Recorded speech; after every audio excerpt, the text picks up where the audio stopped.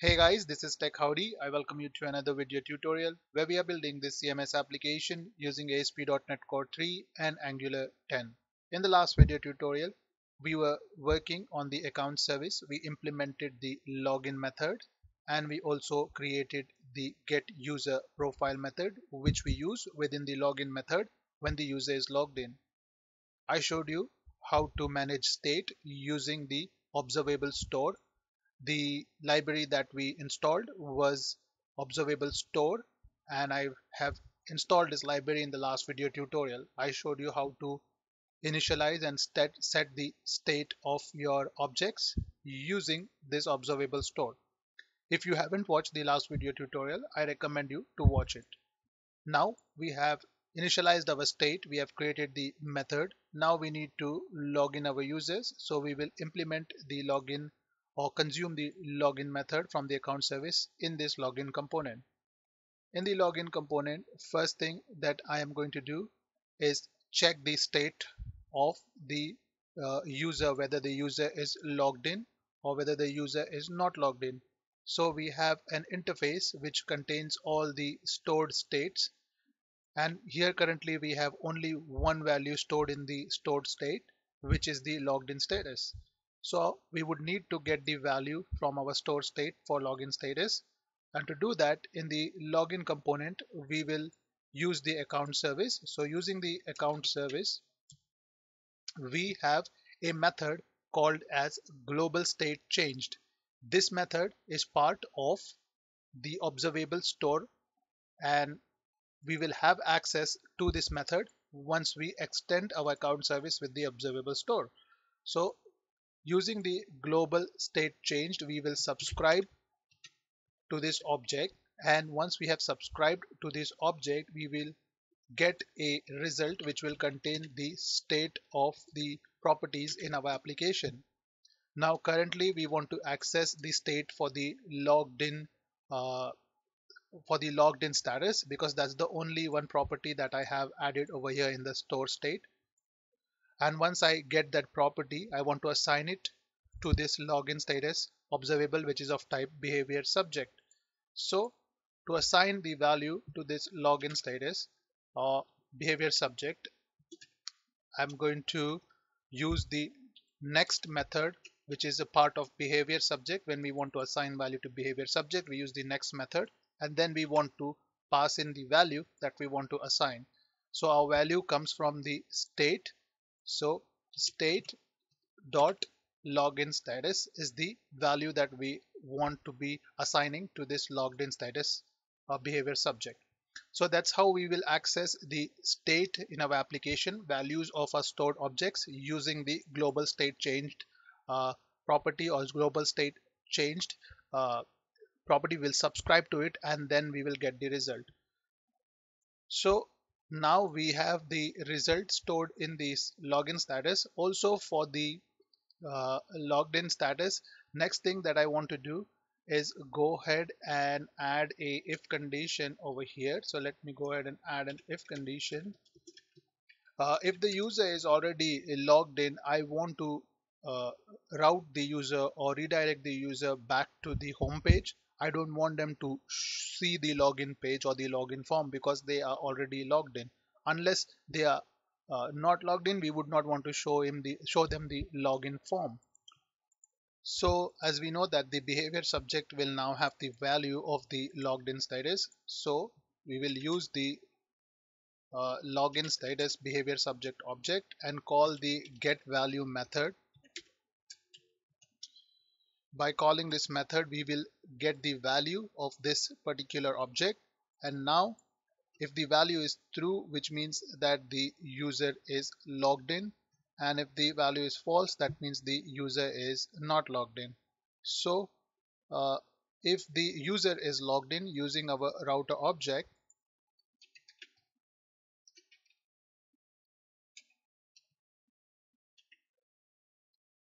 we will navigate to the login page.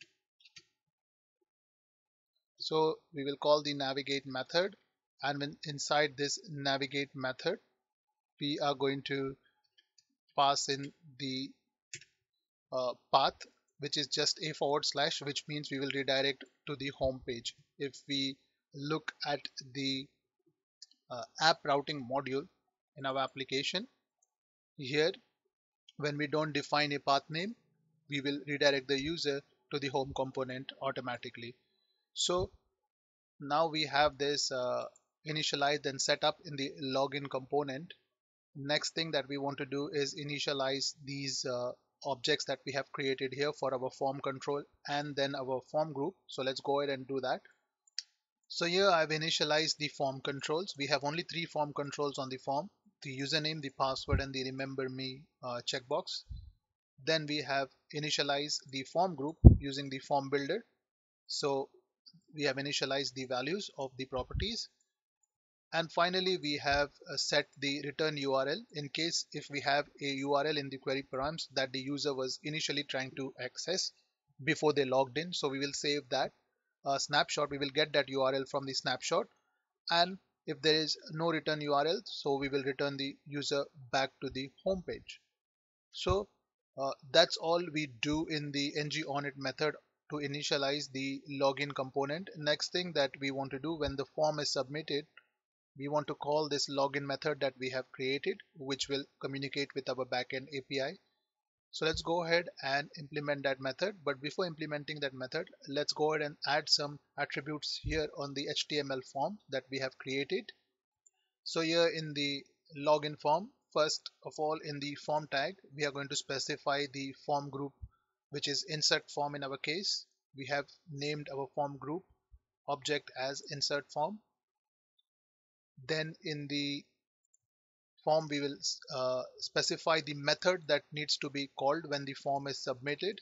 So using the ng submit event we have uh, specified the method to call. We will implement this method soon. Here in the errors div I have added the errors that need to be displayed when the reactive form uh, finds any errors so in our login component.ts we have only uh, one validator that is attached to our properties or form control which is required. We have not added any other validations that we did for the registration uh, form. So if you go to the registration component, uh, we have uh, uh, some validators that we have used over here. As you can see, like minimum length, max length. So I have not used that over here. If you want to implement that, you can do that over here as well. But I don't think it's required but depends on your requirement and your application requirement. So any errors with this specific validators will be shown over here in this div. And uh, that should be it for the HTML now let's go ahead and create this on submit method.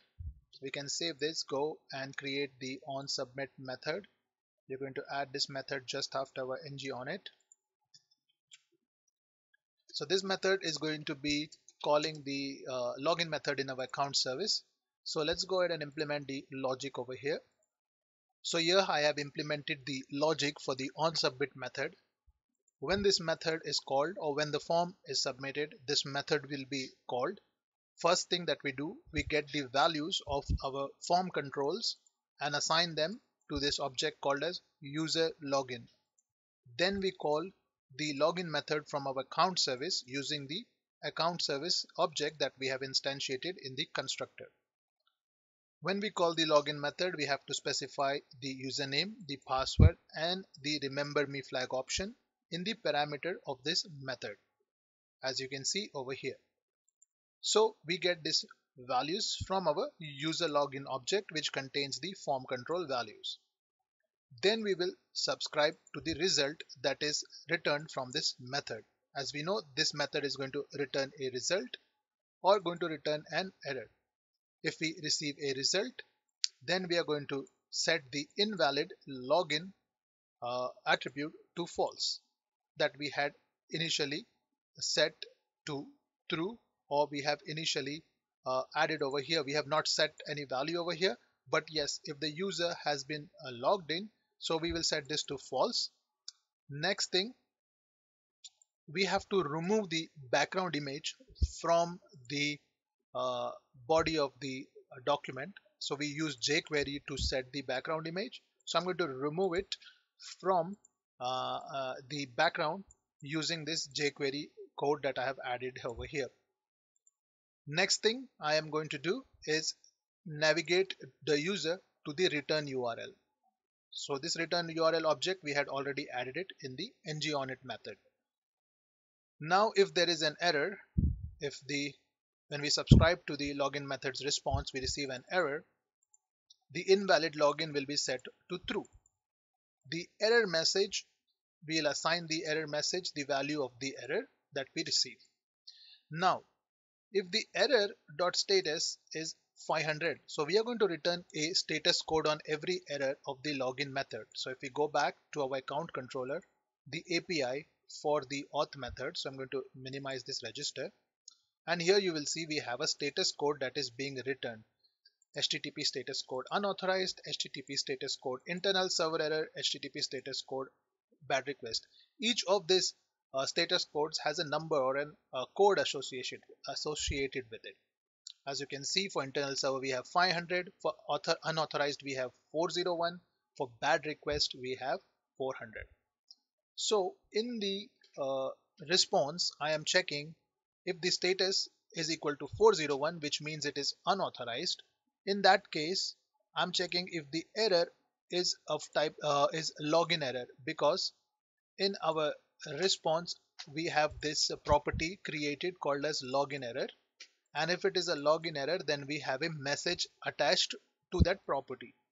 Here in this particular response we are checking if the login error message is equal to auth code required which means that the user's two-factor authentication is on and they need to provide an authentication code before we proceed further in the login process. Here I have implemented some logic for the two-factor authentication when auth code is required. Here I will explain this part of the code in detail when we implement the two-factor authentication. But the code is pretty straightforward. What I do in case if the auth code is required. So I'll be explaining it when I am doing working the working on the two-factor authentication. So I don't want to spend time explaining it to you now. So I'll minimize this. The next if block is if the account is locked. So we will send a message account locked. So we will display a sweet alert pop-up and we will show the following message. I have imported sweet alert uh, uh, in this particular component so you would have to add the import statement.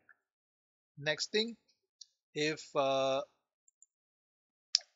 if none of these uh, login error messages are returned for a 401 response then we will show a generic toast message on the top right and we will display the message that we received, the actual message that we received, because we don't know at this point what it could be. Now, uh, if the uh, error status is not 401, it's not 500, it's not 401, then we have used the toast uh, to show a notification. Here guys, I have only added 500 and 401. If you want, if you have created custom status codes or if you have implemented multiple state used multiple status code or returned multiple status code then you can expand this if block adding multiple if condition and showing different types of uh, notification to the user. I am just checking for 500 and 401 in case where both of these uh, statuses do not match then we will show a generic error message to the user so depending on your implementation, you can accordingly implement the if conditions. So that should be it for the on submit method. As we know, if the user is logged in, we will navigate the user to the return URL. And the return URL, we know if we don't have a return URL, the user will be navigated to the home page. So guys, that's all we need in this uh, login component.ts. So now it's time for us to go ahead and do a quick test by logging in to the account of a user. Let's see if everything works and we don't have any errors on our DOM. So before we go ahead and test the login form, few things that we need to add. Uh, I forgot to add the error message when email is not confirmed. So I have added an additional if condition for the error status 401. If we go back to the backend code and we look at the auth service. Uh, auth service also validates if the email is not confirmed and the message that we have attached is email not confirmed. So I have added a validation check for the response uh, which is email not confirmed and when email is not confirmed then we will show a pop-up to the user and if any one of these conditions do not match the uh, requirement then we load a generic error in the toast service for the toast service to load in the app module we would need to import the browser animation module so you would have to add this to your imports array and you have to import browser animation module from Angular platform browser animations. Also in the angular.json file you would need to add the reference to toast styling which is toast css uh, style sheet so you will add it after your bootstrap file is loaded so that should be it for the toast now let's go ahead and test our login functionality. To do that, we will restart our application since we had installed a new package called the store observable store. So we will restart our application. I have restarted the application. Here we are going to log in with the user that we had created when we worked on the registration component. Here I have intentionally uh, added a invalid password. Here I'm on the network tab if I go to the application tab, I should not see anything in the cookies other than the XSRF token and ASP.NET Core anti-forgery token. Now I will go ahead back to the network tab. Here I will go to the XHR tab so I can see what API calls are being made. Then I will go ahead and hit login. Here since my password is invalid, I received a invalid username password notification from Toast that we can see here the auth call failed. If we go and look at the auth, we have received the error message which is invalid username password. That's the message that was displayed on the toast service. If we look at our uh, else statement over here, since none of these conditions matched, therefore the toast message was loaded with the error message. Now we will try to log in with a valid password. And here if you look at the cookie uh, tab we don't have any cookies right now. So if I go back to the network tab here we'll enter the correct password which is test at 123 we'll go ahead and hit login now we have received uh, a response now once we have received a response we will go ahead and get the user's profile so hit next now if we go to the application tab, we should see all the received cookies that are set by our cookie service in the browser cookie. That's the user role. Login status is changed to 1.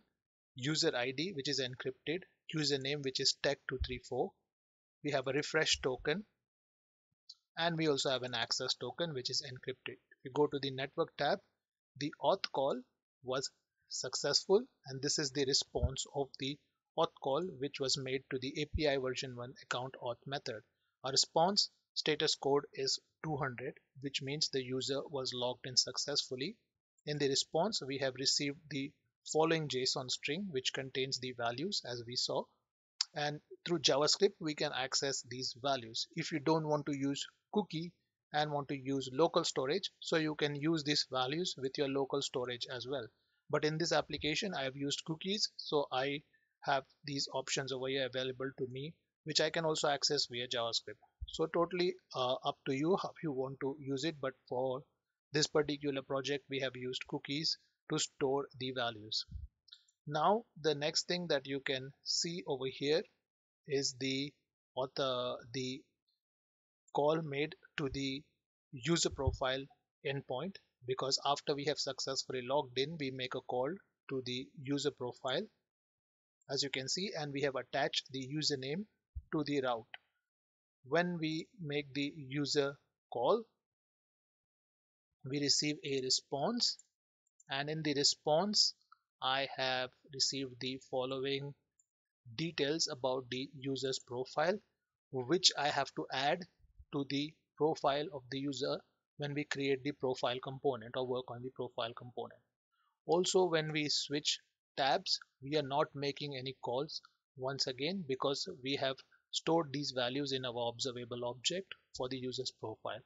So this is uh, the share replay that is working in the background and is caching these values for us.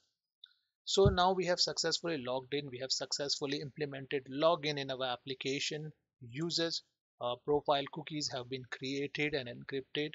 Now we have to use uh, these uh, values to maintain the uh, users state. So for example, here as you see in the navigation bar, user has logged in, but we still see the register and login button.